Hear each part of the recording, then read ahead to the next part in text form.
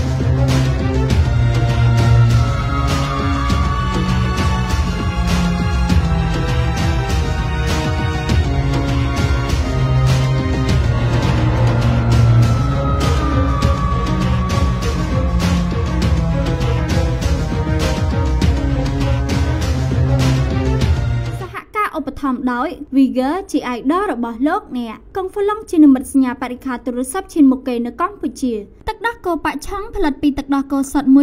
100%សាប៊ូបណ្ដោះសក់សារ៉ាន់មកបាត់ជ្រោះជួយបានគ្រប់បញ្ហាស្បែកក្បាលអ្នកឯកទេសថែរក្សាសក់យ៉ាងស៊ីគ្រប់ឯកទេសអាជីវកម្មរបស់លោកអ្នកគីងយក One FKX និង FTVFB ឥឡូវនេះដើម្បីទទួលបានព័ត៌មានយ៉ាងឆាប់រហ័ស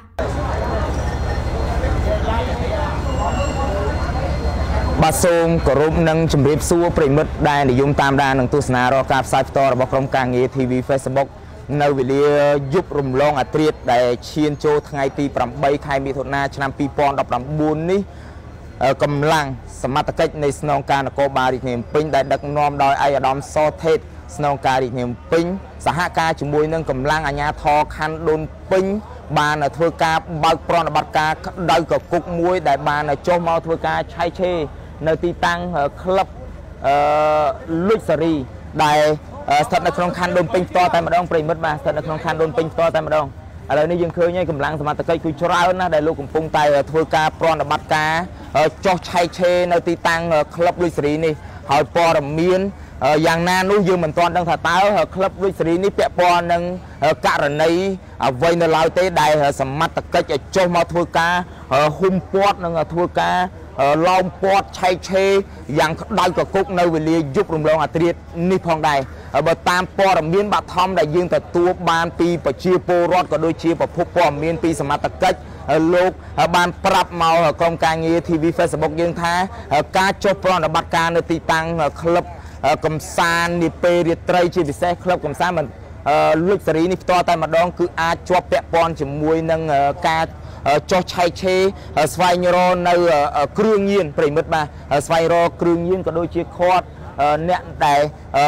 ប្រើប្រាស់ឆ្នាំញៀនសេវាកម្មប្រើប្រាស់ឆ្នាំញៀននៅក្នុងក្លឹបកំសាន្តនៅក្នុងរាជធានីភ្នំពេញនេះជាក់ស្ដែងប្រិមិត្តបានឃើញរួចហើយនៅក្នុងរាជធានីភ្នំពេញយើងនេះគឺមានករណីប្រណិបត្តិការយ៉ាងក្តៅកគុក នៅក្នុងឆ្នាំ2019នេះដែលសមត្ថកិច្ចយើងលោកបានបើកប្រណិបត្តិការក្រោមការដឹកនាំរបស់ស្នងការថ្មីគឺឯកឧត្តមសថេតនេះលោកបានធ្វើការប្រណិបត្តិការយ៉ាងក្តៅកគុកពាក់ព័ន្ធជាមួយនឹងការចុះបង្ក្រាបនៅករណីគ្រឿងញៀនជាក់ស្ដែងទី1ករណីគ្រឿងញៀននៅខាងក្លឹបកំសាន្តរកដែលខាត់បានមនុស្សជាច្រើនអ្នកដែលមានថ្នាំញៀនជិត5គីឡូហើយនៅក្នុងនោះនៅក្នុងក្លឹបម៉ៃអាមីម៉ៃអាមីក៏មានការខាត់ខ្លួនមនុស្សជាច្រើនអ្នករួមជាមួយនឹងមេចែកចាយនឹងជួញដូររួមជាមួយនឹងឧបករណ៍ផលិតគ្រឿងញៀននៅក្នុងក្លឹបម៉ៃអាមីហ្នឹងជាច្រើនផងដែរឥឡូវនេះនៅយប់ថ្ងៃទី8ខែមិថុនាឆ្នាំ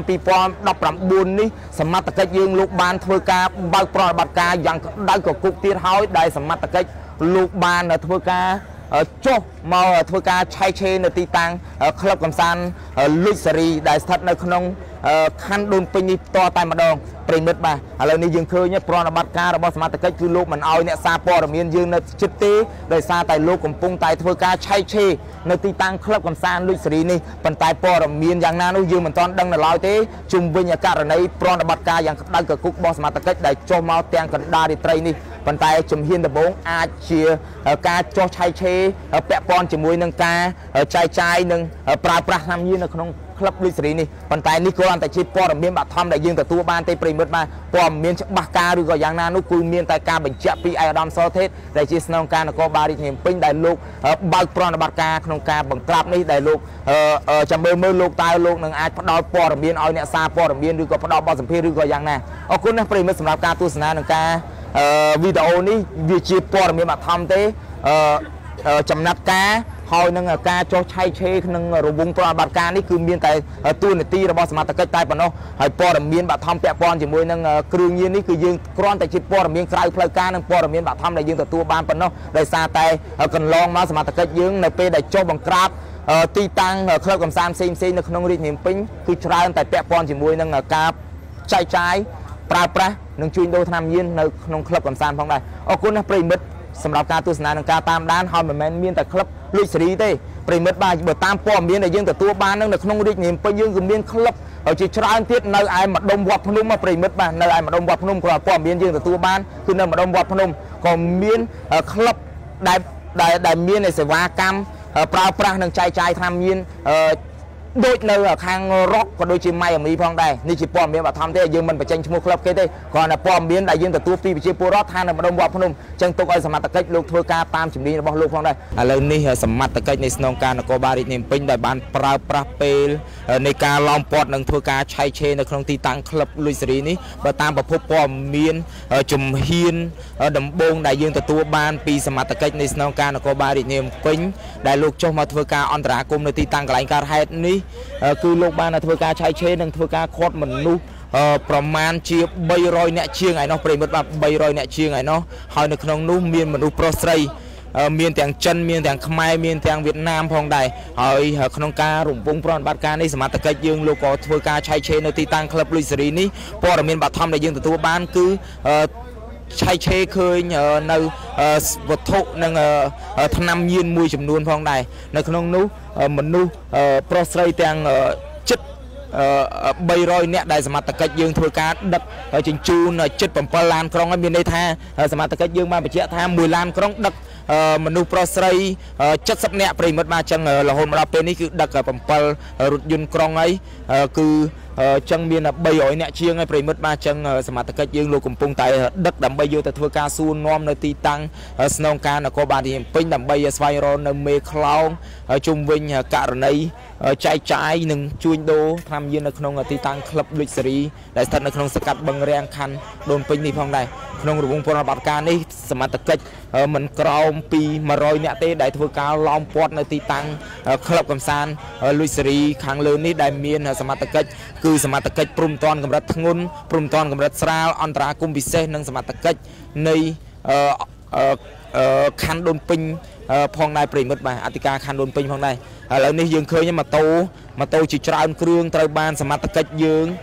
លោកកំពុងតែធ្វើការដកហូតដើម្បីយកទៅរក្សាទុកនៅស្នងការនគរបាលរាជធានីពេញប្រិមិត្តបាទនៅរាជធានីពេញហើយនេះគឺជាប្រធានការិយាល័យគឺលោកប៊ុនសັດជាដែលលោកគឺជាប្រធានការិយាល័យព្រំតាន់កម្រិតស្រាលនៃស្នងការនគរបាលរាជធានីពេញក៏លោកចុះមកធ្វើការអន្តរាគមន៍នៅទីតាំងកន្លែងកើតហេតុនេះផងដែរប្រិមិត្តបាទ